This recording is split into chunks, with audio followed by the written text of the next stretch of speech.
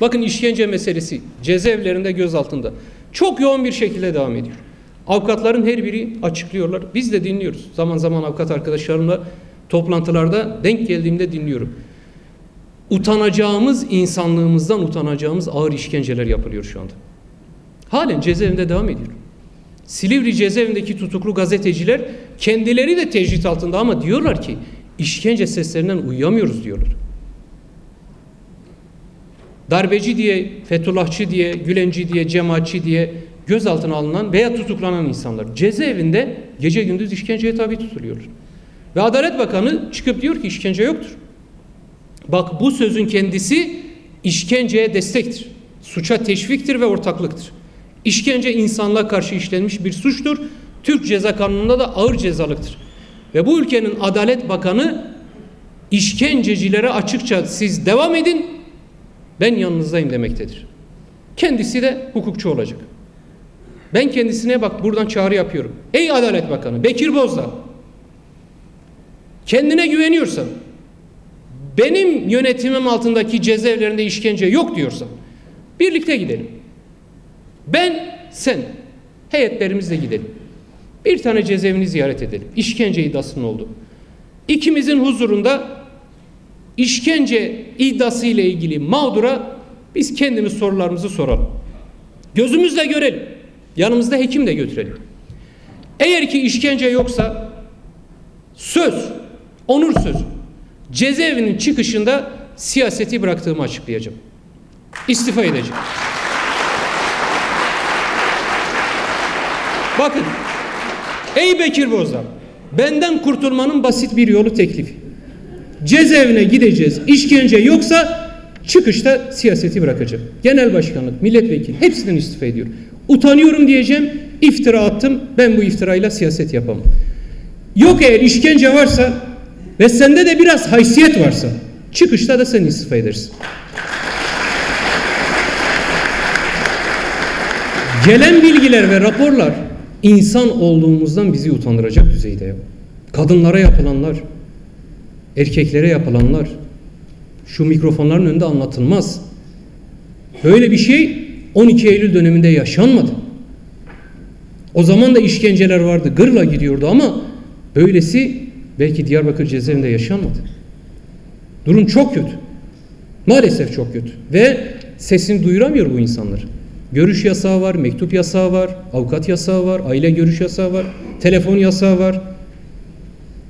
E biz hangi davadan yatıyor, neyle suçlanmış, suçlu mu, güçlü mü bunu soramayız bile sormayız da. İşkence bir insana, bir canlıya yapılamaz. Buna karşı sessiz kalan insanlığını yitirir.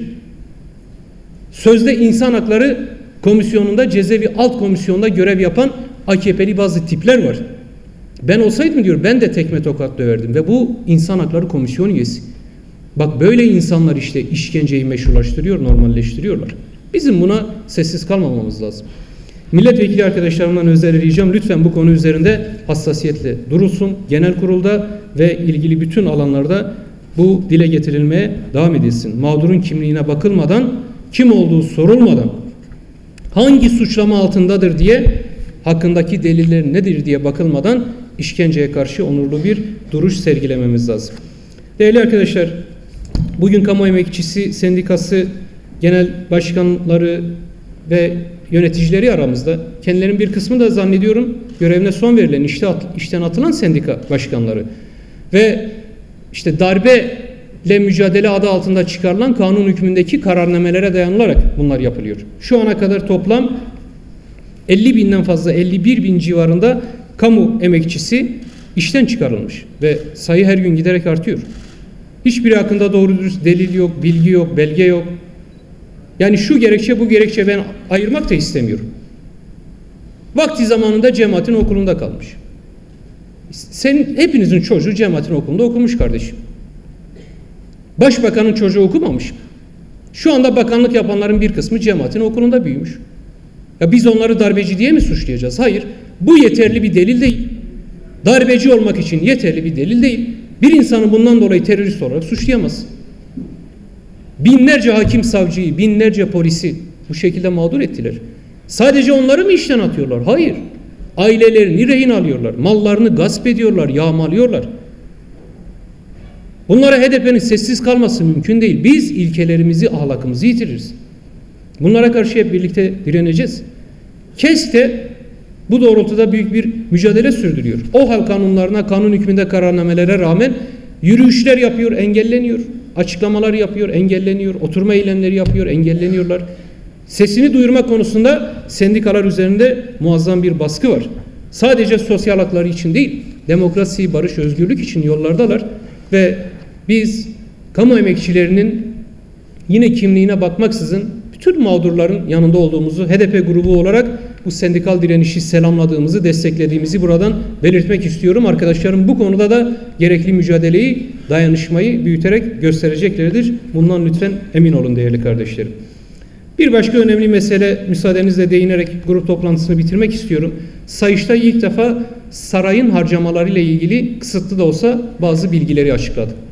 İlk defa saray inşa edildiğinden beri yani Sayıştay'ın normal yapması gereken iş bu sene kısmi olarak parlamentoya rapor halinde sunuldu ve öğrendik ki sarayın maliyeti 1.4 katrilyonmuş eski parayla. 1.5 katrilyon maliyeti. Ve geçen yıl hazinemizden saraya 397 trilyon bütçe vermişiz. 397 trilyon. E yetmiş mi? E yok. Yılın yarısına gelince bitmiş para. 397 trilyon yetmemiş. 278 trilyon eski paralarla söylüyorum. Ek bütçe vermişiz saraya parlamento olarak. 675 trilyon 2015 yılının sarayın resmi bütçesi. 675 trilyon. E diyeceksiniz ki yani buysa harcama yeter. Bu değil ama. Bu kadar değil. 150 trilyon örtülü ödenekten harcamış. Nereye gittiği belli değil. Yani 675 trilyon resmi para harcanmış bitmiş. 150 trilyon da hiç kimsenin hesap soramadığı, bilmediği ve bilmeye de hakkının olmadığı 150 trilyon örtülü ödenekten harcama yapılmış. Ve sarayın bir aylık sadece aydınlatma giderinin 806 milyar eski parayla 806 milyar olduğunu öğrenmiş bulunuyoruz. Yani her ay sarayı ışıl ışıl göstermek için 806 milyar TL para ödeniyor. E tabi bunların hesabı sorulmasın diye kimse efendim ya burada ne oluyor sarayda ne dönüyor diye sormasın diye milliyetçilik yapmak lazım. Bir yerlerde sürekli savaş kışkırtıcılığı yapmak lazım. Cenazeler gelmeli ki cenazeler gelmeli ki bunun hesabı sorulmasın. Bir işçinin asgari ücretle çalışanın cebine aylık en fazla 1000 TL giriyor. 800 TL küsür. İşte vergisi vergisi ödenince. Yani neredeyse bin işçinin maaşı sarayda işte su bardakları, aydınlatma gideri vesaire buna harcanıyor. Böylesi bir lüks, böylesi bir israf hiç kimsenin hakkı değildir, hukuku değildir. Hukuk içerisinde bunların önümüzdeki bütçe döneminde hesabının sorulması lazım. Türkiye'nin işsizlik oranındaki belki de tarihin en yüksek artışlarından birini yaşadığı bir dönemde iç borç dış borç, borç dengesinin cari açığın Cumhuriyet tarihinin en yüksek noktasına ulaştığı bir dönemde ve Türkiye'nin yüzde on beşinin resmi rakamlara göre yoksulluk sınırının altında yaşadığı bir ülkede bir dönemde sarayda ne oluyor diye sormak hakkımızdır. Bunu sormazsak ve bu fotoğrafı topluma göstermezsek işte işsizlik fonundan çalıp çırpıp, çırptıkları paranın haddini hesabını sormazsak şu milliyetçilik gazıyla ülkeyi felakete götürmeye devam edecekler. Bakın değerli arkadaşlar Türkiye'nin temel çelişki fotoğrafı budur. Şunun hesabı sorulmasın diye şu ışıl ışıl sarayın hesabı sorulmasın diye şu gencecik çocuklar ölmek zorundalar.